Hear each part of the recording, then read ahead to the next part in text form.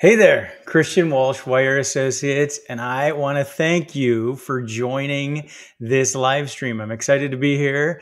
This is only my second live stream that I've done. The first one we talked about uh, the Austin, Texas real estate market, but this one's very different. So, this is going to be the LA County and LA City eviction moratorium. You guys, I asked you if you wanted me to do this, and you said yes. So, this is your fault. I'm here because you asked for it. No, and I'm I'm honored that you want me to be here. So be patient. It's only my second live stream. We are still getting all the kinks worked out with live streams. At some point in time, we'll be experts. But uh, I encourage you to submit your questions. I have Michelle. Uh, she's my operations director. She is helping out with. Uh, hey there, Ramin. I see you joining on LinkedIn. Oh yeah, we're streaming this on LinkedIn, Facebook, YouTube and maybe somewhere else. I don't even know. Michelle's in charge of that. So Michelle, Michelle's my operations director. She's going to be helping with the comments as well. Uh, we just ask that you keep it clean. We're going to do our best to cover as many questions as we can. We're obviously not going to get to everything. So uh, anything we miss, we'll come back for additional live streams. And of course, you can always put your questions on my videos uh, or in the community tab as well. So, what I wanted to do first is I wanted to take a quick run through, show you a few quick things, and that also gives some time for questions to come in. Uh, so, one of the important things I wanted to do is show you the best resources out there for information. And the best resources we have right now are the two websites that uh, LA City has and LA County has. So LA City's eviction moratorium is over. Uh, and it is no longer in place, as we've discussed. But their website, for those who are in LA City, they have updated it so that you can see what's going on in LA County because LA City falls in LA County. So they've updated it. There's a few important things in here that I recommend if you're in LA City that you check out. They actually do a great job of explaining what to do for LA County if you can't pay your rent. And one of these important things is in LA County right now, if you can't pay your rent, due to COVID, you have to be at 80% area median income or lower. And they have a nice handy chart here that breaks it down because it's based on the number of folks that live in uh, that unit. So you can see the numbers there. And then another important thing where they talk about is when, and this is a question I get a lot, is when you can be evicted for past rent. So I'm going to dive into that. Uh, I've got another slide for that I'll show you. But again, just wanted to let you know that the LA City website is a great resource. And then, of course, LA County's website is a great resource, including the oh so important for tenants who can't pay rent due to COVID. You're going to need to come to LA County's website and you're going to download the self certification form. They have an English and Spanish version. So that's where that is. That must be submitted to the landlord within seven days.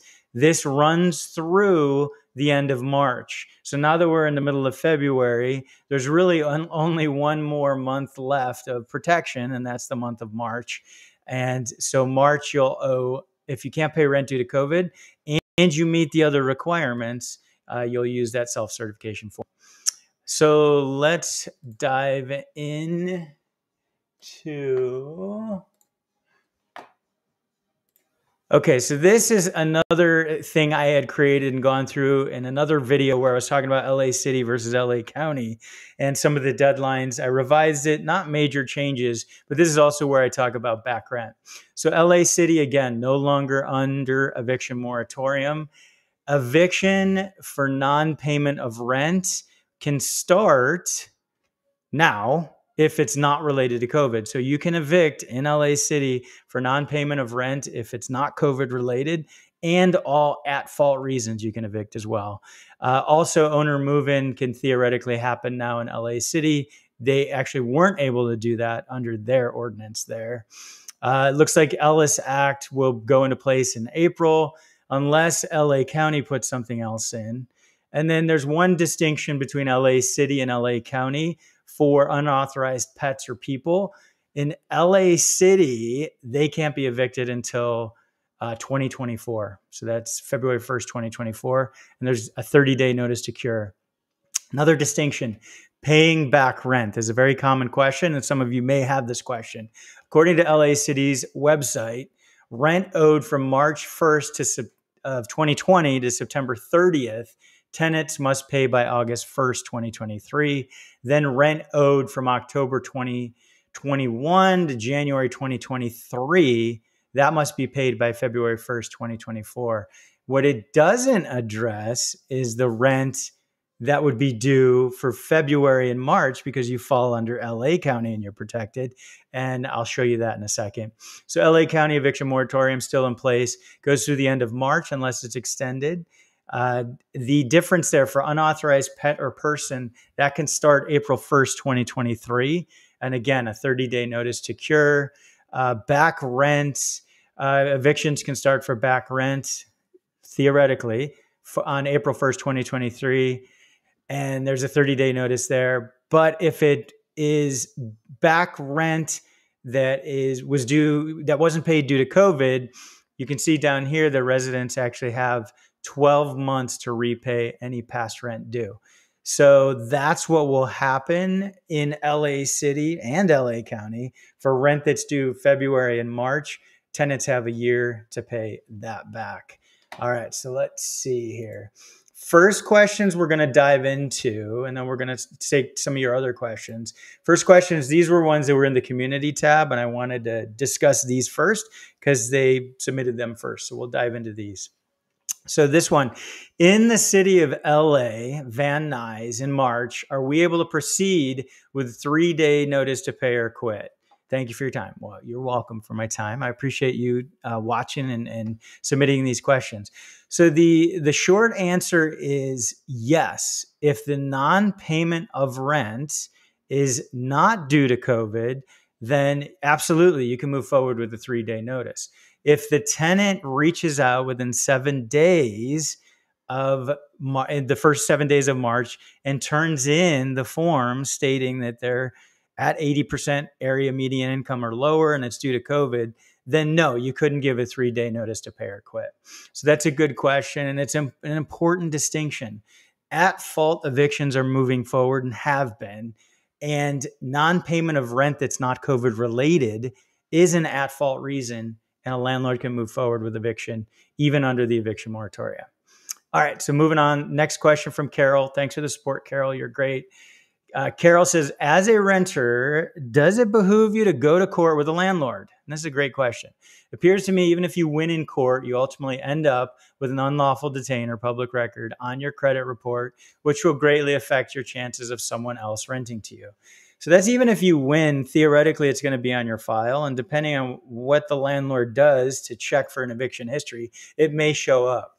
The hot tip for this for tenants that are in these situations is you can ask that the court seal the records. So if the records are sealed, then it won't show up on, on your public record. It won't show up anywhere if a landlord is searching for the record of the unlawful detainer. So that is the answer for that one. All right. So let's start moving into some questions. All right. Wow. You guys are keeping me busy. I appreciate this. Let me all right, let's see. Where do we start first? These are nice long ones. Thanks, guys. Thanks for the test. All right. So, Abraham, tenant has other authorized occupants and has created a nuisance, causing the police to go on multiple occasions. Can the homeowner evict uh, for at fault non payment of rent? Um, yeah. So, those are, again, don't forget what I always tell you. I can't give tax or legal advice. What I'm here to do is I'm here to go through your questions, give you my non legal opinion, and then give you the questions that you're going to turn and ask an attorney who's an expert in these areas. So, so don't forget that.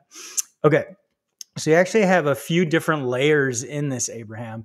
So you can evict for non payment of rent as long as it's not related to COVID. So if you never received any paperwork, that it's related to COVID, theoretically you can evict for that. Now, unauthorized occupants and a nuisance, maybe not. That's actually more protected in this case. The nuisance because the police had to go out there, maybe you could evict for that reason. But your strongest case, if it's non payment of rent and it's not COVID related, that's where you would talk to your attorney and you'd issue the three day notice for that. Okay. I see some funny ones here. This, I love this, David. That's very true. Don't go- Google up a form like Liam. Thank you for that, David. So, Liam's my son, uh, my younger son, and that's advice I gave in past videos is don't Google up forms. And I think that's great advice, and that's something to share here as well don't just try and Google 60 day notices, three day notices. Uh, go, don't Google up leases. I find so many errors in leases, and I'm going to release content on that. Where you can find the right form, for example, is from the LA County website. That's where you can find the self certification form. That's a legitimate place to find a form. But please don't just Google up forms. Uh, and you can reach out to me if you need help with forms, and I'll give you advice where to turn as well. All right, so let's see.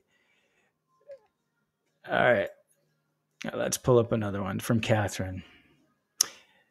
Okay, how can you establish tenant is violating below median if the tenant is still not required to show proof?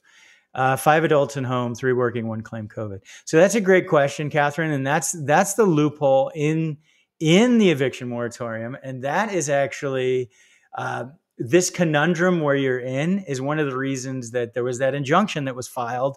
It was vague. If a landlord tried to prove that a tenant uh, wasn't affected by COVID and they lost, they'd owe a fee. Uh, they could potentially owe fees. So you're 100% right. It is a catch 22 in this case. So you, the self certification form now recommends that tenants submit paperwork to show that they uh, are at 80% area median income and that covid has affected their income. So that's my recommendation is i would ask for it as a landlord. And if they don't give it to you then don't harass them. Don't ask a thousand times but talk to your attorney about it because you what you may be able to do is you may be able to take them to court and and compel them to prove it. The judge may ask them to prove it. So that is the best way I think to handle that one right there. Uh, but definitely talk to an attorney before you move forward. Okay, let's see. Lots of questions here, guys. Um, one second. Let's see. All right. Let's see. For owner's move in eviction, does the landlord have to live in the property for a minimum of three years? Alec, this is a great question. And this actually opens up some other stuff I need to talk about. So, that is under the current LA County owner move in provision. Yes, the owner who moves in has to stay there for a minimum of three years. Now, when that ends, that is not necessarily the case a, an owner can do owner before COVID, before we had the emergency eviction protections put in place. If it was a single family home or a condo that, uh, or particularly a condo that was non RSO, then they could, the owner could move in and didn't necessarily have to stay for three years. It was under state law at that point in time. And actually, you didn't even have to give a reason. You didn't need an owner move in excuse. But under so if you decide to take advantage of owner move in for a house or a condo up to a triplex anywhere in LA County, which includes LA City right now, you are going to have to follow the current rules, which means you're going to owe relocation assistance. You're going to have to be similarly situated, which is another big deal. That means if there's a senior living there, you have to be a senior in order to move in. And you're going to have to live there for three years. So, the advice I would give you, my non legal advice, my opinion, wait and see what happens after the emergency eviction orders expire and see what happens then. So, April 1st, assuming that LA County doesn't extend or put in some permanent renter protections that change your rights, you would not have to live there a minimum of three years um, if you were to move forward with owner move in and it's a house or a condo. So hopefully that clarifies things. I know it's a little complicated. Um, the the other thing to remember is LA City has just put in permanent renter protections related to owner move in. And that is a. Um, I did a video on that. So that's an important one you're going to need to follow if you're going to be taking advantage of owner move in. It literally affects every property now, every rental property in LA City. An owner who's moving in is going to have to pay relocation assistance. So that's an important one to know. Okay. Let's see. Lots of questions. This is great, you guys. This means a lot to me. Um, okay, here's an interesting one. Giorgio wants to know Will the city pay the tenant balance if the tenant runs away owing like $20,000? That's a great question, Giorgio. And it brings up the bigger point that there's a lot of landlords that have not been made whole. They're still they never got the money from housing is key whether they were disqualified or their tenant didn't apply or uh, something went wrong and it was rejected for in some cases for no reason couldn't get a solid answer. So there's a lot of landlords that are still owed money. There are still some funds left over. Uh, I know that LA City is going to be rolling out a, a program for mom and pop landlords that don't have a mortgage, they can apply, which is not going to help all those who do. But there's additional funds that potentially are coming as well. There's still some COVID funds, as far as I know, that need to be spent. So there is a chance that a landlord will be able to apply. Now, the second part of this question is like they ran away. What if they won't fill anything out? That I can't answer for sure. I don't know what the programs are going to require that you have if the tenant's going to have to cooperate. So that's the hard part on that. Of course, you can go after the tenant in small claims court and attempt to collect that money as well. But if you don't know where they are, that's going to be tough. Um, all right, let's see. Okay, so here's here's an Ellis Act question. And I am not an Ellis Act expert yet. I'll get there. no, just kidding.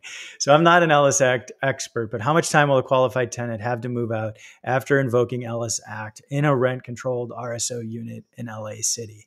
So this actually, there's two things I'm not an expert on. I'm not an expert on the Ellis Act yet, and I'm RSO.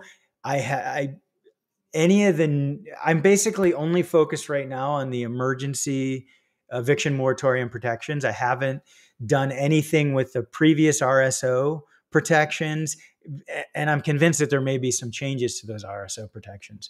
So, from what I understand, and again, this is where you talk to your attorney, it's going to be if it's a qualified tenant, so it's a senior, they're going to have a year to notice, a year to move out from the unit under RSO under the Ellis Act. So that one I'm pretty sure, but again, it could change. So just be aware, and you won't be able to invoke the Ellis Act. Uh, for another couple months. We have to wait for the LA County eviction moratorium to end. So that gives some more time for the county to make changes. So hopefully that helps, Dave. Talk to an attorney about that. Um, okay. Is this Abraham? Abraham, you got a lot of good questions, but can a landlord get in trouble if a non owner offers cash for keys? Okay. That's, you need the owner's permission to offer cash for keys. You can't just show up and offer cash for keys to a tenant and try and get them out. And I'm going to assume, at the very least, that what Abraham is referring to is a uh, maybe he's purchasing a property from a seller and there's a tenant in there and he'd like to get the tenant out so he's he's willing as the buyer or the buyer's agent or on the buy side he's willing to offer cash for keys to that tenant. Get permission from the owner get permission in writing and so what would my advice be to the owner? I would say, and no offense, Abraham, I'm sure you can do a good job at this, but I'd say tread lightly because the problem you run into is you can really poison the well with the tenant.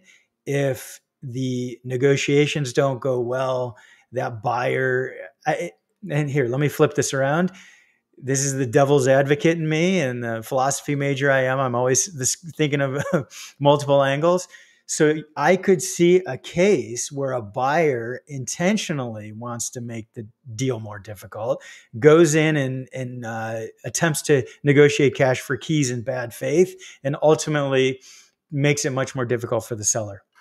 So again, that's an extreme example. Just make sure that the buyer and buyer and seller are on the same page. The seller is the landlord; they're the ones who have to deal with the situation if the cash for keys doesn't work. So that's my advice on that. Boy, I dove in on that. this is a great one. I love this, your digital media guy. That's awesome. And Carlos, that's you, isn't it? I'm so glad you asked this, but this is not an LA eviction moratorium question. I guess on the surface it's not. So, can I use Chat GPT for legal advice? The answer is no. Number one, Chat GPT, which is the artificial intelligence program that's from OpenAI, it only goes back to 20, or it only goes up to 2021. So it doesn't have in there any of the stuff that's related to the LA City and LA County eviction moratorium. So that's one of your problems. It doesn't know about them because it stops at 2021. The other thing is, I've found in playing with it, and I'll release a video, it's lousy at legal advice. So don't use Chat GPT for legal advice. Uh, and don't even use me. This is non legal advice. Talk to an attorney. Hopefully, these discussions we're having are helping you figure out the questions you need to ask. All right, let's keep going. Um, okay. Okay. So I've got a question here. I'm not going to pop it up because it has the person's full name, and I just in for the reason I, I want to protect their identity. Um, I, I'm not going to pop it up. Uh, this person says, I'm below the 80% median in a mom and pop single family. The owner sent a letter of intent to sell uh, to for a developer. A developer's going to demolish it and essentially take it off the market. Okay, uh, so to this person who asked this question, if it's in LA City or LA County, that letter, that notice cannot go out right now. It doesn't matter that you're at 80% of median income you can't go out. You cannot take a property off the market right now. Unfortunately, a lot of landlords uh, did it and got away with it, whether they knew about it or didn't. But that's right now. If you receive in LA County, anywhere in LA County, you receive a notice to terminate tenancy based on removing the property from the market or the Ellis Act, it's invalid. So talk to an attorney about that. Okay. All right. All night hider. Uh, question Would something like a loss of job be a possible way to get around the three year seasoning rule from above? So, the three year seasoning rule we're referencing is related to owner move in if you attempt to use owner move in under the current LA County eviction moratorium. So, it's a good question. My advice on this would be yeah, life happens. Uh, just as uh, an extreme example again another example like you do a 1031 exchange which defers capital gains but you're forced to move into the property because life has changed and you have to go fight against the IRS that's a bigger fight than fighting against LA city and LA county so document everything and show that there's a reason that you have had to move out of the property or sell it. This three year rule, really what they're trying to do is to pre- prevent people from giving this notice and then never moving into the property. What's unfortunate about all these rules is the people who follow these rules aren't the problem. It's the people who don't follow the rules that these rules are trying to catch. They're the problem. They're the ones that would take advantage. So yeah, I think you can get around that three year rule if it's if you need to. Just document everything. Um, okay, let's see. Oh, here's a good one, Ryan. I like this question. How confident are you that the eviction moratorium will end on March 31st? We won't know until the very end. We haven't known until the very end on any eviction moratorium piece of legislation. And some of them have ended and come back and then ended again, like the CDC eviction moratorium. That was a fun one. So I am pretty confident, to be honest, based on what I've seen with the Board of Supervisors, that it will end on March 31st but that doesn't mean that eviction protections are going to end. What I see happening is what happened in LA City. LA City let their eviction moratorium end on January 31st for two reasons. One is they knew they would fall into LA County, so there'd still be protections. And two, they put in place their permanent renter protections. So what I see happening is before March 31st, LA Board of Supervisors is going to vote on more permanent renter protections.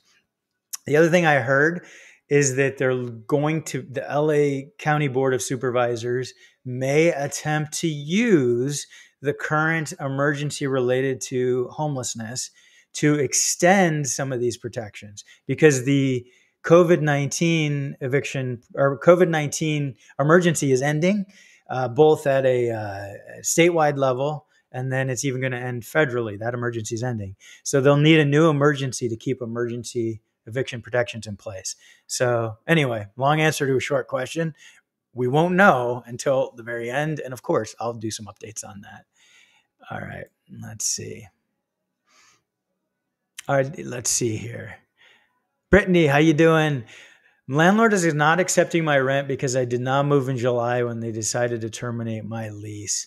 So that that's a complicated one, Brittany, and I think you and I have chatted before, and I appreciate you reaching out. It would be interesting. You'd have to refresh my memory on why they um, why they were trying to terminate your tenancy in July. If it was LA County and you didn't pay rent in April, May, and June, you weren't protected by the LA County eviction moratorium. It was temporarily invalid. So that could have been it. Maybe they were trying to evict you for that. But a lot of landlords did that wrong. So it'd be interesting to see why they're trying to terminate your tenancy. As far to, as far as not accepting your rent, um, they feel for whatever reason or have been given advice that you're not you don't have a valid tenancy and don't have a right to be there so answer eh, any unlawful detainer paperwork you get make sure you answer that immediately and then you can get in front of the judge and the judge will help help sort that out um, you can't be evicted for non-payment of rent if the landlord won't accept your rent that's an important point and i think some landlords don't know that they think oh i'm just not going to uh, pretend like I don't, I'm just going to pretend like I didn't get it. Well, no, you can't evict for that reason. Um, let's see. Okay, here's another good question. Will LA City have any more renters assistance to pay back missed rent? Yeah, so there's 5 million that's going to be devoted to it's going to go to landlords who don't have mortgages and they'll give each one up to 30,000 and that is actually it's not just going to the landlords. That's to relieve back rent for tenants. So if a tenant owes 50, 60,000, the landlord's going to have to accept that 30 and say they won't go after the rest. So there's those funds. Um, there's some other funds that were going uh, I can't remember now. There were funds going somewhere else, but I doubt those would be helpful uh, based on past experience with how they've handled funds. no offense, LA City and LA County. Um, and then there are more funds that should be coming uh, from, I, I, heard up to 400 million, but uh, I'm, I'm sorry, 40, there's more funds coming. That's the short answer. I'm sorry, you guys. um, Okay, Brittany has a question. Can you go over uh, harassment? Yeah, harassment's a big deal, and it's it. There's actually several anti-harassment uh, rules or regulations written in uh, to some ordinances in LA. Uh, Santa Ana has one as well in Orange County. Um, harassment, it, it's the kind of thing where there can be a fine line but if a landlord is every day giving a notice of entry or three times a week or four times a week, like that could be borderline harassment. If a landlord shuts off your utilities, that's harassment. Tries to change the locks, that's harassment. There's a concept in uh, in rentals that that a tenant is has a right to quiet enjoyment. So I guess that, that's the legal term, quiet enjoyment. So if a landlord is is basically disturbing you, so you no longer have quiet enjoyment, that's technically harassment. Another form of harassment would be calling um, immigration because you want to try to scare your tenants. That is another form of harassment as well. Excuse me, a little bit of sugar-free ginger ale to keep me going. All right, let's keep going. Um, let's see. Lots of great questions. I appreciate this, you guys. Okay. Okay. Here's another good one. This is okay. No rent control condo in LA City. If the county moratorium ends, do we just give them a month's worth of relocation fee for them to leave to sell the condo? I don't want to be a landlord in LA anymore. That sums up perfectly, Ara. This is the unfortunate side effect with the uh, eviction moratoria and with these renter protections. What this will do in LA is this will force landlords out, particularly mom and pop landlords. So, tenants, what you need to uh, let legislators understand as well, because this is important to you, as we reduce the number of units that are available, rents will go up. And of course, you can try to cap rents, but it's going to lead to more competition for units as we see more people leaving.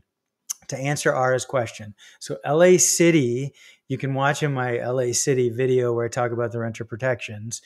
What you're going to have to do is you're going to have to wait until April. You're going to have to give a 60 day notice if they've been there for longer than a year. You're going to have to pay one month's relocation assistance. This only applies, the one month's relocation assistance only applies if you are a landlord who owns, and it's confusing the way they say it, four units plus one unit in LA City. So if you own six units in LA City and you're attempting to sell one, this one month's won't apply. You'll have to follow the other rules that I lay out in the uh, LA city renter protections that are in place. So you'll owe more relocation assistance. And there's other hoops you have to jump through. You have to make sure that you turn the forms in uh, to the city. There's a lot of hoops you have to jump through. What I will let you know is this is one of the things that we're going to be specializing in is helping landlords follow the rules so that their tenants move out so that they can sell the property or in this case here, the other important point is you can't get them out just because you want it empty to sell. You would need to get the tenant out for the for an owner to move in. And there's two ways you could do it. You could theoretically Ara, you could move into the property and then sell it. There isn't a time requirement as of right now. Or the other way to do it would be to do it so that the buyer of the property is going to move in. And then you jump through those hoops, you get it set up so the buyer can move in. So we're going to be specializing in that. And I know some tenants are going to be disappointed to hear that we're doing that. But what we're trying to do is we're also trying to make sure that landlords are following the letter of the law to make sure that your rights are taken care of as well.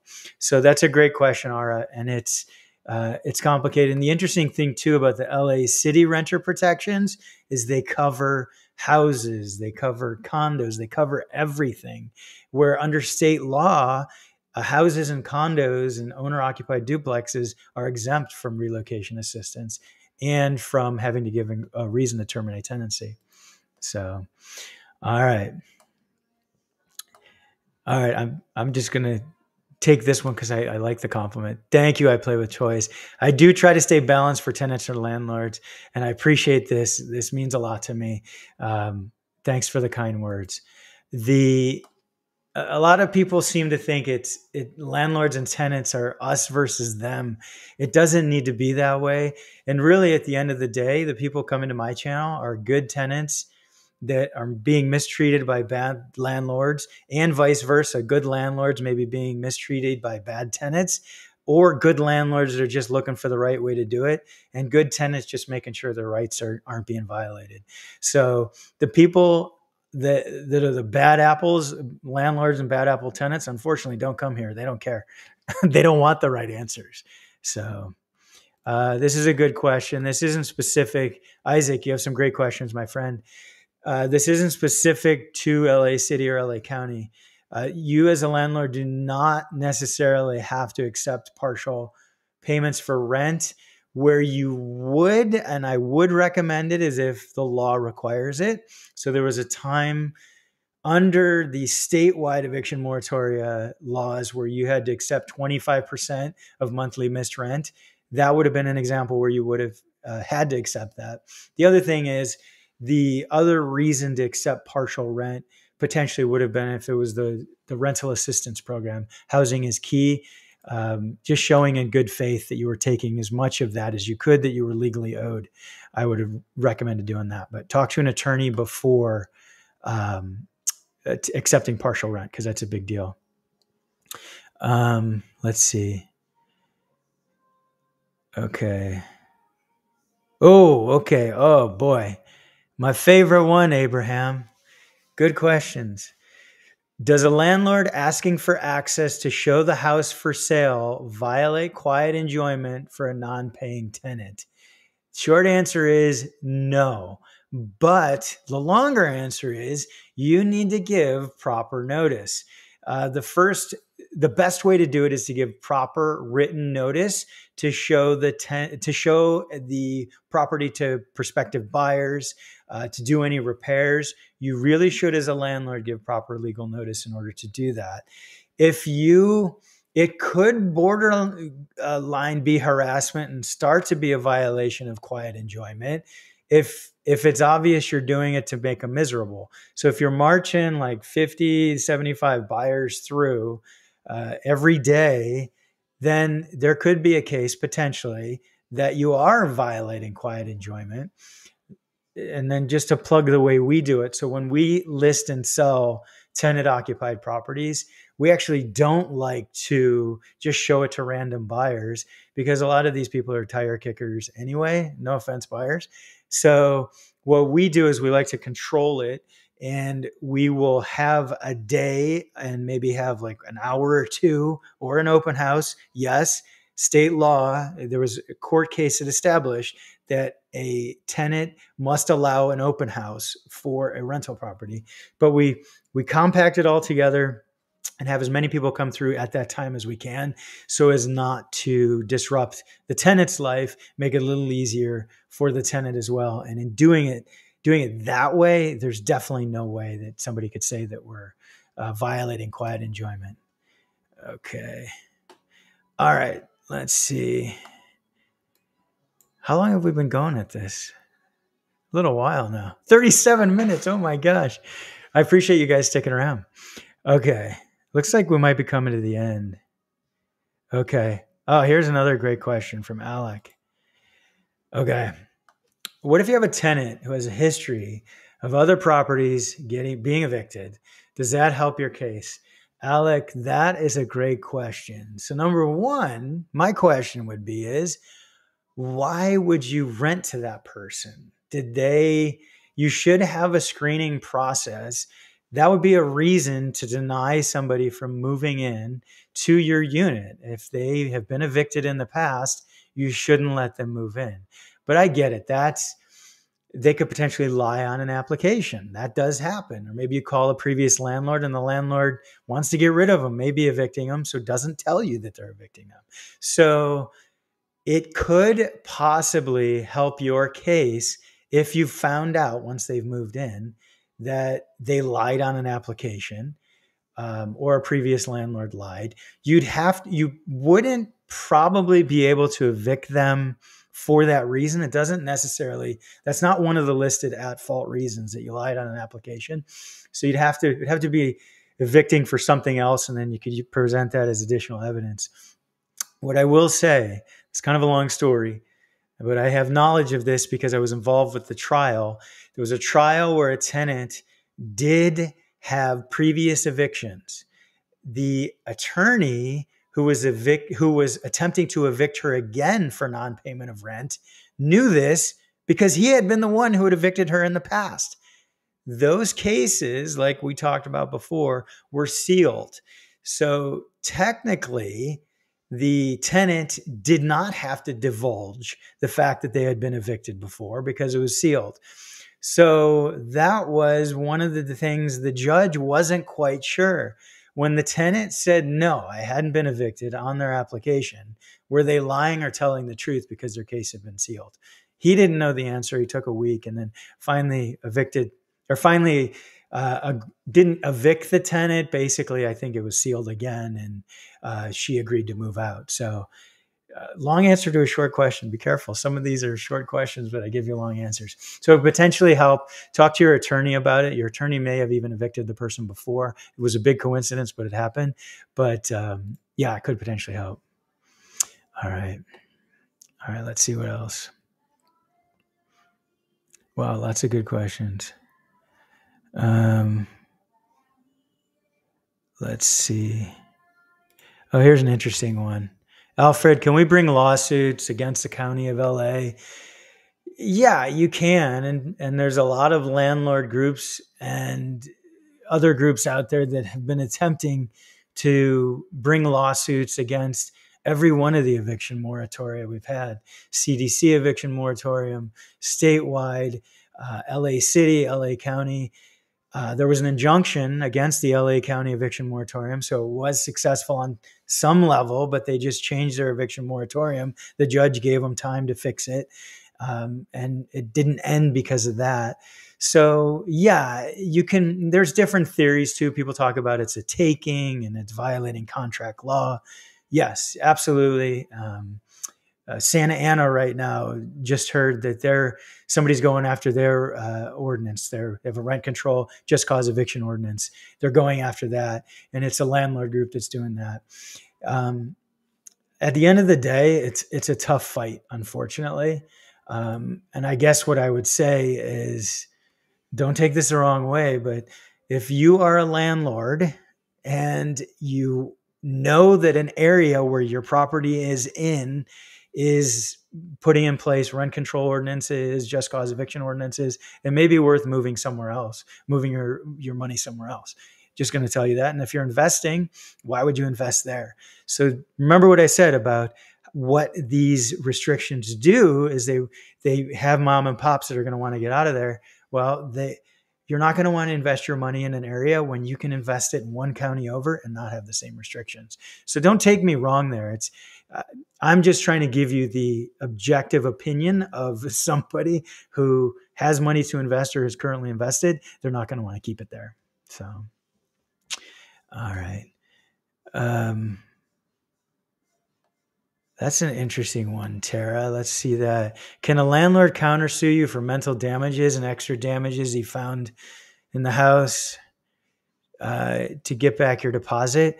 So, again, this would be a good one for an attorney, Tara. But what I'll do is I'll tell you this: you can be sued for anything in California. So I'm not surprised on that one. Doesn't mean you'll win. And I'm going to talk about one more important thing affirmative defense. I wanted to make sure I talked about that. Uh, so remind me, although we're going on 42 minutes now. So, yeah, you can be sued for anything.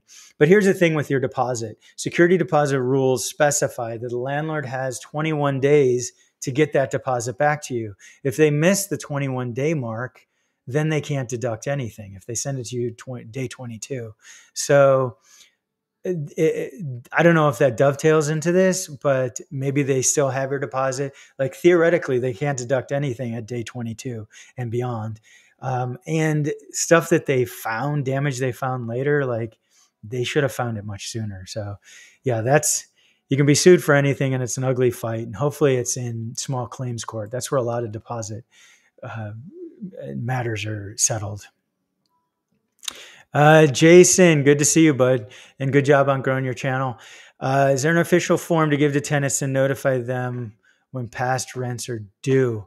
So, good question. And this brings up another question or another important point, and that is talk to an attorney because depending on which months you're asking for, you may not be able to use one form. You may have to use multiple forms. If you go back to some of my older content, different forms were used at different times and had to have different language on them, depending on what months you were uh, asking for back rent. So, Jason, my advice would be sit down with an attorney who knows what they're doing and figure out which months it is and then give the appropriate notice. Some cases it was a 15 day notice, some cases it was a three day notice.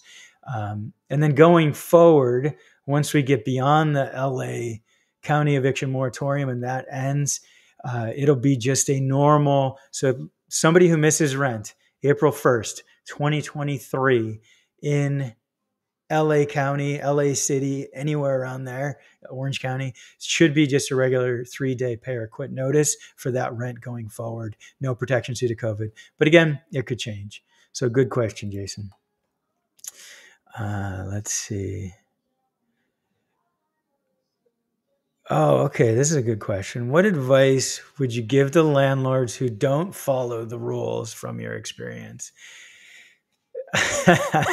that is that's it drives me nuts. It drives me nuts. That's why I created this channel. Hearing the stories from tenants where landlords are not following the rules, and then hearing from landlords where tenants are doing crazy things. So that's really what drives me to do this. And then where those things meet, I sell real estate and I make sure it's done right for landlords and tenants. So what what some tenants have done, and it's not me patting myself on the back, but I know one particular tenant who sent my, a video, one of my videos, to his landlord to explain, hey, this is why you couldn't give a three day notice to pay or quit at the time. So find content. You can try to send them a video and see if they'll watch that. The other thing to do, quite honestly, and this is this to me is the perfect revenge for a landlord who won't follow the rules. So listen up out there. This is the perfect revenge. Let's just use the example. The landlord gives you a 60 day notice to terminate tenancy that's not valid. So the first thing you're going to do, tenants, is you're going to take that notice. You're going to discuss it with an attorney to see whether that notice is valid or not. If it's not valid and it's a landlord who doesn't like to follow the rules, the way you can handle it is go ahead and stay there for 60 days. And when day 61 hits and you're hit with uh, the three day notice, don't do anything. Then, when it goes to the unlawful detainer and you get that paperwork, that's when you respond. Within five days, you, you respond to the unlawful detainer. Then you get in front of the judge and you explain to the judge that the 60 day notice wasn't valid. So by now, this has been 60 days plus another maybe 60 days, 30 to 60 days. Then the judge will go ahead and deliver that amazing news that the landlord's notice was not valid, and that if the landlord wants to get you out, they're going to have to deliver a proper 60 day notice. So there's another 60 days. So that's my opinion. Uh, make sure you're right, number one, by talking to an attorney. But that's my advice is stretch it out. You can fight with an attorney or fight with your landlord rather, but you're better off letting it get in front of the judge and letting them find out they're wrong that way. Same thing goes with rent increases. A lot of landlords refuse to acknowledge or don't know that anything above a 10% increase in 12 months is a 90 day notice, not a 60 day notice, not a 30 day notice. So if they don't give you proper legal notice for your rent increase, again, that's how you handle it. You just wait, don't pay it, let them send you the unlawful detainer let them go ahead and get in front of a judge. Then they can find out the right way. So that's my advice. I know a lot of people won't like that, but um, I think it's a great way to handle it if they won't listen to you. So, all right. Uh, some other nice comments. Thank you. Um, all right. I think we need to wrap this up. It's been 40, 48 minutes. Okay. Um, so one of the things too I wanted to cover, we'll see if any other questions come in. But one of the other things I wanted to answer or talk about was affirmative defense because I haven't really talked about that much in my videos. So under the LA County eviction moratorium right now, a landlord can't do certain things like they can't give you the three day notice if you're uh, non-payment of rents due to COVID and you've given them the paperwork. So, but even though they can't do those things, they can still attempt to to uh, take you to court. They can still deliver unlawful detainer, and that's uh, to, uh, send you through an unlawful detainer action, I should say.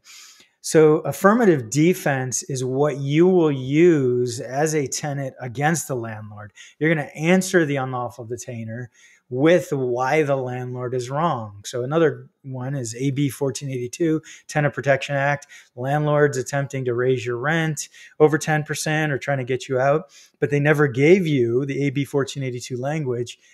That would be an affirmative defense. You bring that up when you answer the unlawful detainer, and then you bring that up in front of the judge. So to say that landlords can't evict right now for non payment of rent due to COVID in LA County is technically not true. They can attempt to evict. That's where the tenant has to answer the unlawful detainer action and defend themselves. So that's what an affirmative defense is. I haven't really gone into that. Just figured I'd lay that out there as well.